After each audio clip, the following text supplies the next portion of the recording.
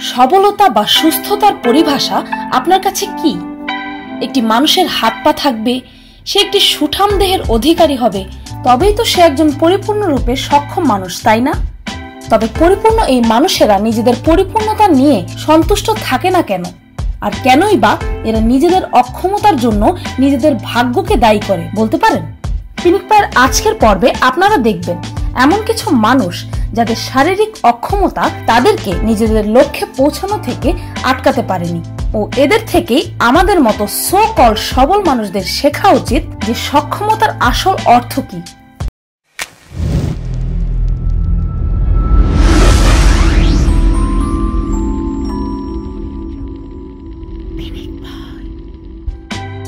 অ্যামি পোডি। মাত্র উনিশ বছর বয়সে ব্যাকটেরিয়াল মেনিনজাইটিস নামক এক রোগের কারণে অ্যামির কিডনি নষ্ট হয়ে যায় ও তার দুটি পাই অপারেশনের মাধ্যমে কেটে বাদ দিতে হয়।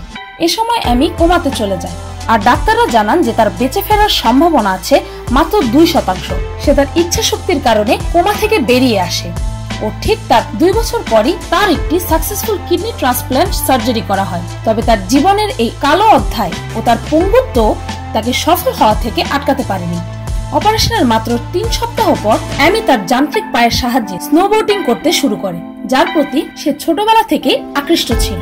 আজ সে আমেরিকার অন্যতম সাকসেসফুল স্নোবোর্ডার আর দুই হাজার চোদ্দতে প্যারালিম্পিকে সে ব্রোঞ্জ মেডেলও জিতে। শুধু তাই নয়, অ্যামি একজন অ্যাক্ট্রেস মডেল ক্লক ডিজাইনার লেখক ও মোটিভেশনাল স্পিকারও অর্থাৎ আমাদের মতো সবল মানুষেরাও যে কাজ করতে পারে না, সেই সবগুলো কাজ সে একসাথেই অতি দক্ষতার সাথে করে দেখাচ্ছে। অ্যারন ফথরিংহ্যাম চব্বিশ বছর বয়সী অ্যারনের জন্মগতভাবেই মেরুদণ্ডের এক রোগের কারণে তার পা প্যারালাইজড হয়ে যায়। আট বছর বয়স থেকেই সে সম্পূর্ণরূপে হুইল চেয়ারের উপর নির্ভরশীল হয়ে পড়ে, কিন্তু তার স্বপ্ন কারও ওপরই নির্ভরশীল ছিল না। ছোটবেলা থেকেই সে তার ভাইয়ের সাথে স্কেটিং দেখতে যেত, আর সেখান থেকেই শুরু হয় তার স্কেটিং এর প্রতি এক প্যাশনের যাত্রা। একটি কাস্টমাইজড হুইল চেয়ার নিয়ে সে বিএমএক্স ফ্রিস্টাইল কম্পিটিশনে তার অসাধারণ স্কেটিং এর প্রদর্শন করে। ও দুই সেই বিশ্বের সর্বপ্রথম হুইল চেয়ার ব্যাকফ্লিপ ও দুই হাজার দশে এই পৃথিবীর সর্বপ্রথম হুইল চেয়ার ডাবল ব্যাকফ্লিপ করে এক ইতিহাস গড়ে। এমনকি হুইল চেয়ার দিয়ে সে সর্বোচ্চ উঁচু জাম্প করে গিনেস বুক অফ ওয়ার্ল্ড রেকর্ডসে নিজের নাম লেখায়।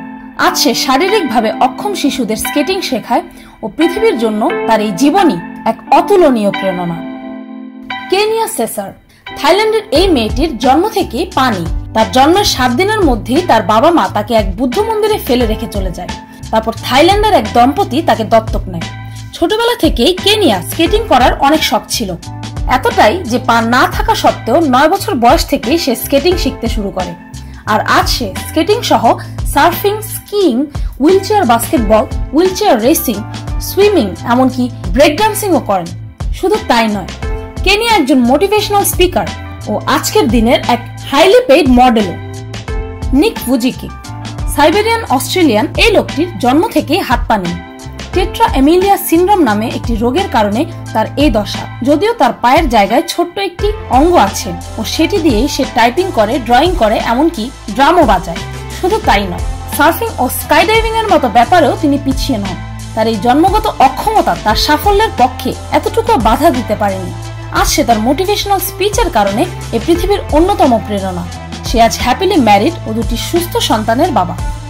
স্টিভেন ডাব্লিউ হকিং এই পৃথিবীর অন্যতম সেরা বিজ্ঞানী, যার কারণে আমাদের পৃথিবী বৈজ্ঞানিকভাবে উন্নতির দিক থেকে অন্তত কয়েকশো বছর এগিয়ে গিয়েছে।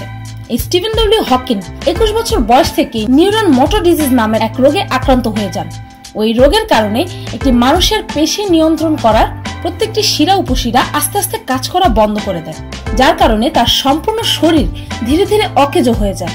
এমনকি তিনি কথা পর্যন্ত বলতে পারতেন না। কিন্তু তার এই অক্ষমতা তাকে এই পৃথিবীর অন্যতম সেরা সায়েন্টিস্ট হওয়া থেকে আটকাতে পারেনি। একটি কম্পিউটারের সাহায্যে তার মনের ভাব প্রকাশ করতেন তিনি।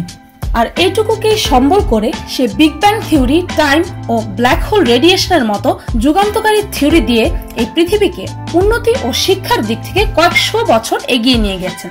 এমনকি আ ব্রিফ হিস্ট্রি অফ টাইমের মতো বই লেখে তিনি তার মহান আবিষ্কার সহজ ভাষায় পৃথিবীর সামনে তুলে ধরেছেন।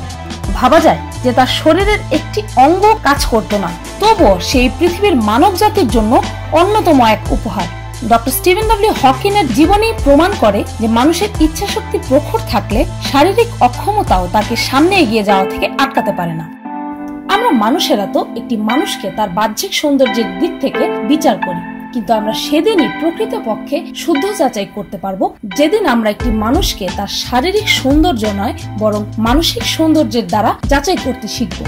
তাই এদেরকে অক্ষম বলে এদেরকে ছোট করার চেষ্টা করবেন না।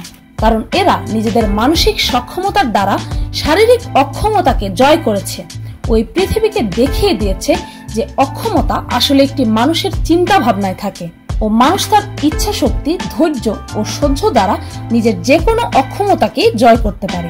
ভিডিওটি ভালো লাগলে একটি লাইক দিতে ভুলবেন না, আর যদি অসাধারণ এই মানুষদের জীবনী আপনাকে এতটুকু অনুপ্রেরিত করে থাকে, তবে কমেন্টে জানাতে ভুলবেন না। আর আমার চ্যানেলটিকে সাবস্ক্রাইব করুন, প্রতিদিন আরও অদ্ভুত ও মজার সব ভিডিও দেখতে।